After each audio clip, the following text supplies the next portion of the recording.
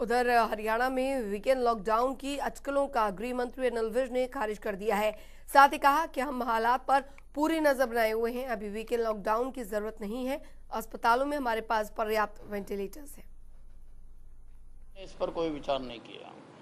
तो कोई अगर कोई नहीं, अभी कोई नहीं है। हम टाइम टू टाइम जो प्रदेश की स्थिति है, उसको मॉनिटर करते हैं और उसके बाद ही हम निर्णय लेते हैं। हमने इस पर कोई विचार नहीं किया। नहीं अभी कोई नहीं है। हम टाइम टू टाइम जो प्रदेश की स्थिति है उसको मॉनिटर करते हैं और उसके बाद ही हम निर्णय लेते हैं। उधर कोरोना के नए स्ट्रेन को लेकर नए कई प्रदेशों में स्थिति आउट ऑफ़ कंट्रोल दिखाई दे रही है। वहीं हरियाणा के गृह मंत्री ने कहा है कि नए स्ट्रेन के छह मामले आए हैं। इसके अलावा सीएम ने कहा कि प्रदेश में पूरे संसाधन हैं। साथ ही कहा कि वैक्सीनेशन तेज़ी से जारी है।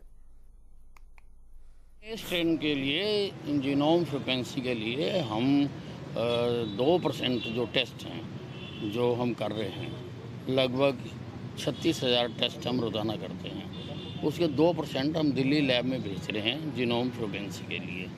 तो अभी तक तो हरियाणा में केवल छः केस उन्होंने पॉजिटिव बताए हैं। और ट्रीटमेंट तो अभी सबका सेम है।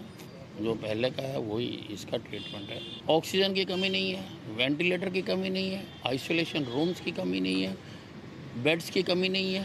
उसके बावजूद मैंने सभी उपायुक्तों को कह दिया कि जिस भी ज़िले में ज़रूरत पड़े, वो किसी भी प्राइवेट अस्पताल को एपिडेमिक एक्ट के तहत एक्वायर कर सकते हैं। शुरू शुरू में विरोधियों ने वैक्सीनेशन के बारे में कई प्रकार की लोगों में गलत भ्रामियाँ डाली थी, भ्रांतियाँ डाली थी। लेकिन हमने जो प्रयोग किया है हरियाणा में, वो हमारा सफल रहा।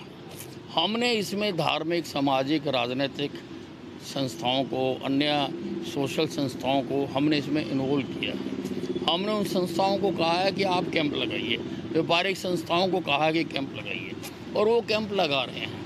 वो लोगों को लाते हैं। हम जाके टीकाकरण करते हैं और यही कारण है कि हम लगभग 28 लाख लोगों को हरियाणा में टीका लगवा हैं